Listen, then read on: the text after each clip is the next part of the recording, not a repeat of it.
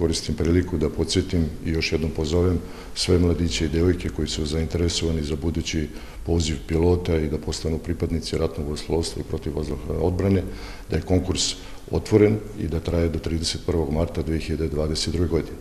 Ovo je jedinstvena prilika, po prvi put otvaramo mogućnost da se mladići i devojke prijave i da je odaberu za svoj poziv da postanu piloti ratnog oslovstva i protivvazdušne odbrane. Detalje opštih kriterijuma za prijem na kurs e, možete videti na sajtu Ministarstva odbrane, od kojih bi ja izdvojio da su svi mladići i devojke koji su završili akademske studije, da su mlađe od 27 godina i da su državljani Republike Srbije.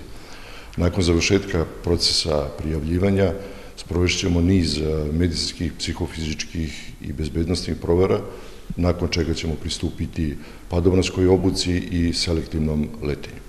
Nakon završetka ovog procesa otpočet će kurs odobrani kandidati će e, biti primljeni na kurs e, oficijera, rezervnih oficijera budućih pilota RV i PVO, koji bi počeo negde u septembru u mesecu i trajao šest meseci. Po završetku navedenog kursa svi polaznici bit će proizvedeni u čin potporučnika, a nakon toga primljeni u stalni radni odnos i u profesionalnu vojnu službu u jednoj jedinica ratnog gospodstva i protivvazduhne obrane, gde će kasnije nastaviti i sa programom letačke obuke za osposobljavanje i dobijanje poziva, odnosno zvanja pilota ratnog gospodstva. Svi odobrani kandidati, nakon završetka procesa selekcije i završetka kursa za rezonog oficira pilota RVI PVO, bit će proizvedeni u čin potporučnika i upućeni na dalju letačku obuku u jednoj jedinica RV i PVO.